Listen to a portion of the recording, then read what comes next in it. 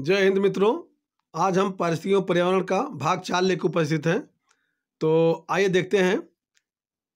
ये नीचे दो वाक्यांश दिए गए हैं। ये कथन और कारण है। कथन है, प्राकृतिक वनस्पत जलवायु का सही सूचकांक है। कारण है, जलप्रिय पौधे आदि जलवायु में पाए जाते हैं। उपयुक्त में थे कौन सा कथन सही है, देखते हैं इसमें। ए है, ए और आर दोनों सही है तथा आर सही स्पष्टीकरण है ए का। बी ए और आर दोनों सही है, किंतु आर सही स्पष्टीकरण नहीं है, ए का। और सी है, ए सही है, किंतु आर गलत है, और डी है, ए गलत है, किंतु आर सही है। तो नवासवा क्वेश्चन देखते हैं। नवासवा क्वेश्चन का ए सही है, ए और आर दोनों सही है, और व्याख्या भी कर रहा है। नेक्स्ट देखते हैं।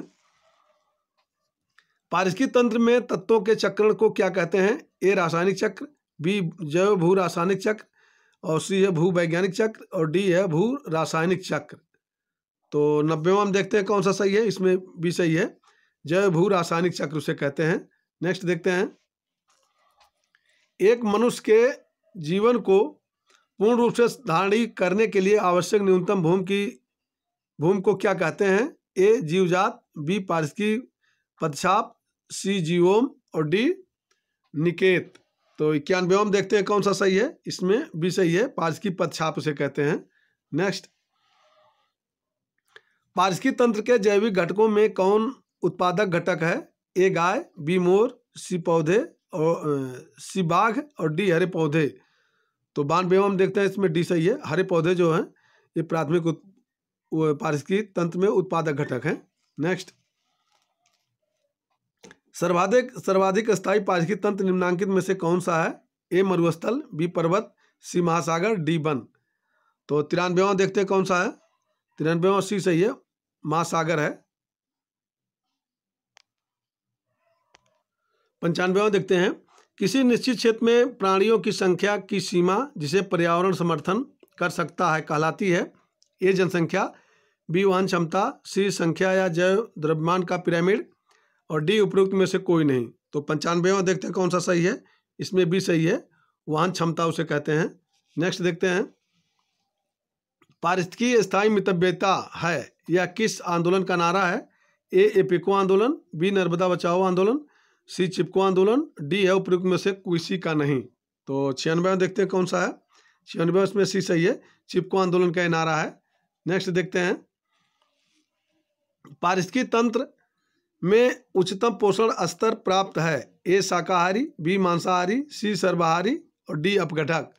तो सत्तानवे देखते हैं कौन सा सही है। सत्तानवेवा में सी सही है। सर्वहारी को जो है, उच्चतम पोषण स्तर प्राप्त है। नेक्स्ट निम्नलिखित में से कौन सा एक कृत्रिम पारितंत्र है? ए तालाब, बी खेत, सी वन और डी उपयुक्त में से कोई नहीं। तो अट्ठानवेवा देखते हैं कौन सा सही है। अट्ठानवेवा बी सही है। इसमें वन जो है एक कृत्रिम पारितंत्र है। नेक्स्ट देखते हैं। इसमें खेत जो है, खेत जो है, कृत्रिम पारिस्थितिक तंत्र है। इसमें बी सही है, खेत। नेक्स्ट देखते हैं। खाद्य जाल में ऊर्जा का प्रवाह होता है। ए, एक दिशी बी द्विदिशी सी चतुर्दिशी और डी है त्रिदिशी तो निन्यानवे में देखते कौन सा सही है। निन्यानवे में ए सही है, एक दिशी होता है। नेक्स्ट देखते हैं। एक खाद्य स्तर किसके दूसरे खाद्य स्तर में जाने पर ऊर्जा का ह्रास होता है? ए, बीस परसेंट, सी, चालीस परसेंट, सी, अस्सी परसेंट और डी, नब्बे परसेंट। तो सवा क्वेश्चन देखते हैं कौन सा है। सवा में डी सही है नब्बे परसेंट का ह्रास होता है। नेक्स्ट देखते हैं।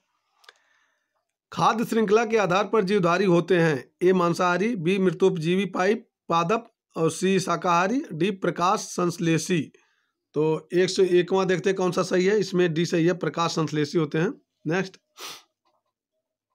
पार, घास स्थल पारिस्थितिक तंत्र में संख्या का पिरामिड होता है। ए सीधा, बी उल्टा, सी रैखिक और डी अनियमित। तो 102 देखते हैं कौन सा सही है। इसमें ए सही है, सीधा होता है। नेक्स्ट, दस प्रतिशत का नियम देने वाले वैज्ञानिक हैं। ए, ओडम, बी, लिंडमेन, लिंडेमान और सी, टेंसले और डी, हेकल।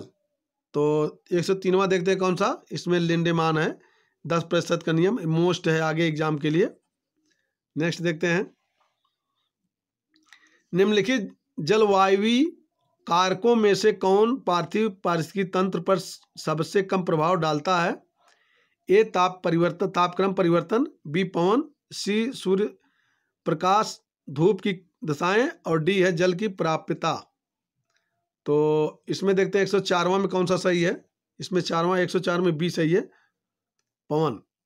नेक्स्ट देखते हैं। नुकीली पत्तियों एवं भेदक गहराइयों वाली जड़ों के पौधों को निम्न में से किसमें वर्गीकृत किया जाता है? ए, मरुद्भिद, सी आर्द्रतोद्भिद और सी, बी आर्द्रतोद्भिद और सी है समोद्भिद और डी है मरुस्थली पौधे। तो इसमें देखते हैं कौन सा सही है एक सौ पाँचवा में। इसमें एक सौ पाँचवा में मरुद्भिद उसे कहते हैं। तो नेक्स्ट देखते हैं। किसी पारितंत्र में होते हैं। ए, उत्पादक बी उपभोक्त ए उत्पादक उपभोक्ता तथा अपघटक। बी है उत्पादक, शाकाहारी, मांसाहारी तथा अपघटक। और, डी है, सी है पौधे तथा जंतु। डी है जैविक तथा अजैविक पदार्थ। तो इसमें देखते हैं एक सौ छः में कौन सा सही है? इसमें डी सही है। जैविक तथा अजैविक पदार्थ जो है, ये पाचतंत्र में होते हैं। नेक्स्ट पोषण की दृष्टि अपघटक होते हैं। ए स्वपोषी बी परपोषी, सी मृतोपजीवी और डी है विषम परपोषी। तो एक सौ सातवां देख से कौन सा सही है। इसमें सी सही है, मृतोपजीवी होते हैं। नेक्स्ट, पारतंत्र में मानव है। ए सर्वाहारी, बी मांसाहारी, सी शाकाहारी, डी अपघटक। तो एक सौ देखते कौन सा सही है। इसमें सर्वाहारी होता है मांस, मानव। नेक्स्ट निम्नलिखित में से कौन सा पर्यावरण अध्ययन का सबसे कम महत्वपूर्ण उद्देश्य है? ए, पर्यावरण संबंधी मुद्दों के बारे में जागरूकता का विकास करना। बी, समाज, सांस्कृतिक परिवेश के बारे में जिज्ञासा पैदा करना। और सी है, प्रत्यास्मरण और याद करने के कौशलों को अर्जित करने के लिए बच्चों को अधिकतम अवसर उपलब्ध कराना। और डी है, शिक्षार्थियों में संज्ञानात्मक संवर्धन करना। तो एक सौ नौवा देखते कौन सा सही है? इसमें सी सही है। प्रत्यास्मरण और याद करने के कौशलों को अर्जित करने के लिए बच्चों को अधिकतम अवसर उपलब्ध कराना। ये सी सही है इसमें। नेक्स्ट देखते हैं। एक सौ दसवां। निम्नलिखित में से कौन एक विश्व का सबसे विषात्म पारिस्थितिक तंत्र है? ए समुद्र विघास का मैदान, सी वन और डी पर्वत। तो एक सौ दसवां देखते हैं कौन सा सही है। इसमें दसवां में बी सही है। तो एक सौ दसवां में सी सही है। वन जो है विशालतम पारिस्थितिक तंत्र है। नेक्स्ट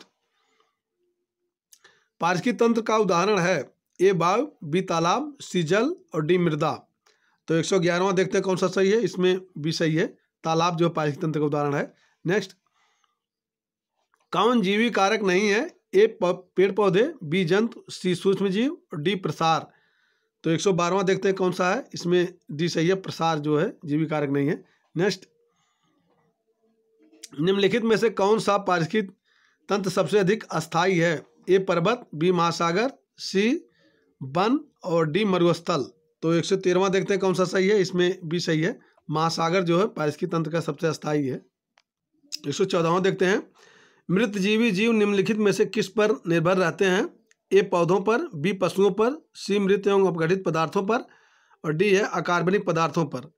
तो एक सौ चौदहवा देखते हैं, इसमें सी सही है मृत एवं अपघटित पदार्थों पर। नेक्स्ट देखते हैं।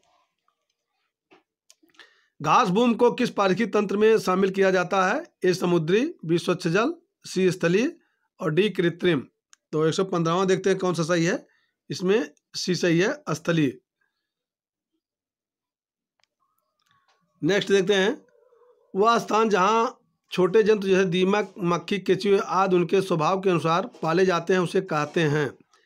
ए जल जीवशाला, बी संग्रहालय, सी टेरेनियम और बी वन डी वन। तो एक सौ सत्रहवा देखते हैं कौन सा सही है, इसमें सी सही है, टेरेरियम उसे कहते हैं। नेक्स्ट प्रजातियों की उत्पत्ति एक रचना है, ए अरस्तु की, बी चार्ल्स डार्विन की, सी मेंडल की और डी रॉबर्ट हुक की। एक सौ अठारहवा देखते हैं, इसमें बी सही है। चार्ल्स डार्विन की ये रचना है। नेक्स्ट देखते हैं, निम्नलिखित में से कौन सा जैव मंडल का अजैविक घटक नहीं है। ए प्रोटीन, बी मृदा, सी कवक और डी फास्फोरस। तो एक सौ उन्नीसवा देखते हैं। इसमें सी सही है, कवक जो है, अजैविक घटक नहीं है। नेक्स्ट, इस सीरीज़ का लास्ट क्वेश्चन मित्रों, यदि आप मेरे चैनल पर नए हैं तो सब्सक्राइब कर लीजिए, शेयर कर लीजिए और लाइक कर लीजिए, जिससे मेरी हर नई वीडियो को सूचना मिल जाए। तो इस सीरीज़ का लास्ट क्वेश्चन देखते हैं। पशुओं की त्वचा पर विविध पैटर्न डिज़ाइन। ए, उनकी शारीरिक शक्ति को इंगित करते हैं। बी, परावर्तित प्रकाश के कारण होते हैं। और सी है, उनकी त्वचा पर बालों के कारण होते हैं। और डी है, उस जलवायु के कारण होते हैं जिसमें वे रहते हैं। तो इस सीरीज़ का लास्ट क्वेश्चन मित्रों, इसमें डी सही है। उस जलवायु के कारण होते हैं जिसमें वो रहते हैं। धन्यवाद। मेरा वीडियो कैसा लगा आप लोग कमेंट ज़रूर लिखेगा धन्यवाद।